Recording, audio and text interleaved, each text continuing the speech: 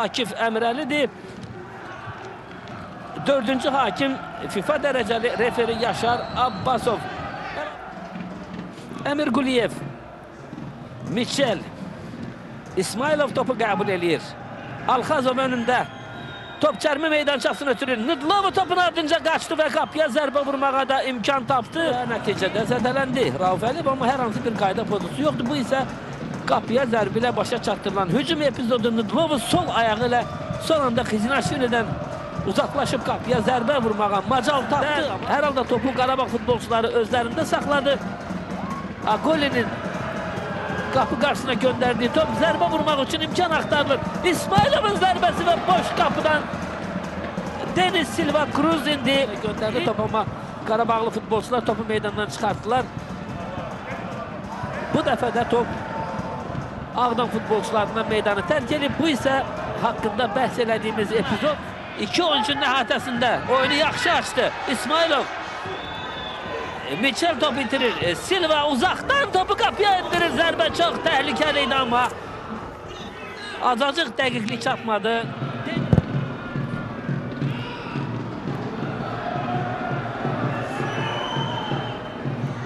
Deniz Silva Cruz Quintana ilə mübarizədə komanda yoldaşını ötürür top amma top ünvanına çatmadı. Əmir Quliyev Bağın müdafiəçiləri arxaya gəlib təhlükəni aradan Inter futbolçuları təhlükəni aradan qaldırsınlar və amma Qarabağ hücumunu davam etdirir.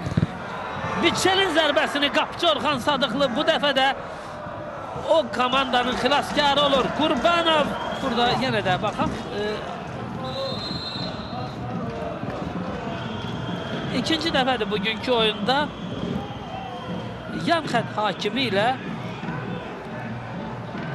əsas hakim qapıya zərbələr yoxdur bu dəqiqələrdə və indi Dino topun ardınca qaçır. Yaxşı ötürür İsmailov və boş qapıdan yerə də topu çıxarmaq mümkün oldu. İkinci dəfədir ki Inter komandasında belə bir təhlükəli vəziyyət yaranır.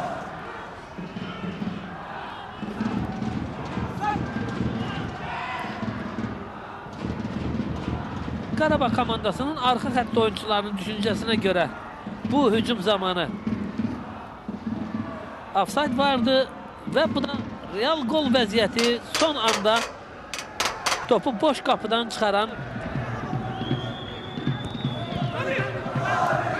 aldadıcı ötürmə önündə kənar vəziyyət yoxdur amma Dina Nudlovu bu real vəziyyətdən istifadə edə bilmədi. Qapıcı Orxan Sadıqlı çox yaxşı oynadı çox önəmlidir epizodu izləyirik burada hakimin fikrincə oyundan kənar vəziyyət yox idi amma Dino Nidlovu bu real vəziyyətdən istifadə edə bilmədi. Daha dəqiq desək, Orxan Sadıqlının gözəl oyunu sayəsində Michel, Reynaldo vurmaq olar. Amma o ötürmə edir və burada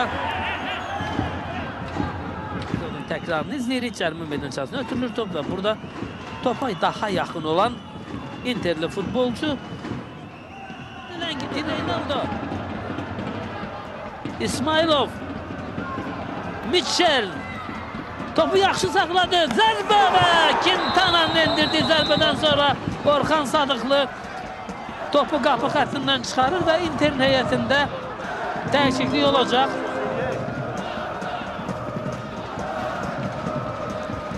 Interin heyətində Samir Zərgərov, Qarabağın heyətində Muharrem meydana daxil olacaq. Qarabağ hücumdadır İsmailov. Hücumunu Inter davam eləyir. Bədəvi yaxşı oynadı. Qara Qarayev dərhal top irəli vurur. Dani Quintana. Quintana'dan aldadıcı hərəkət bir oyuncunu keçir rəqib futbolcunu. Yaxşı ötürür. Əfran İsmailov oyundan kənar vəziyyətdədir. Qurban Qurbanov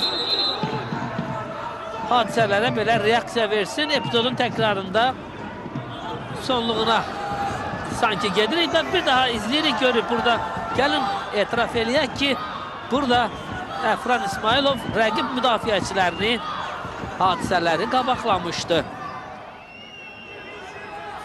Quintana. Quintana'dan aldadıcı hərəkət. Qapı qarşısına göndərilən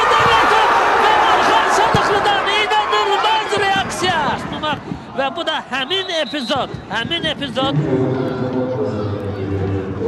Təkrar izləməyə dəyər Reynaldonun başla indirdiyi zərbə və Orxan Sadıqlının inanılmaz reaksiyası. Michel Muharrem Michel oynuyor. Çərmə meydançasına göndərilir top Orxan Sadıqlı topu elə keçirir və elə bu vaxt beynəlxalq dərəcəli hakim Fariz Yusufov Qarabağ Inter görüşünün başa çatdığını bildirir.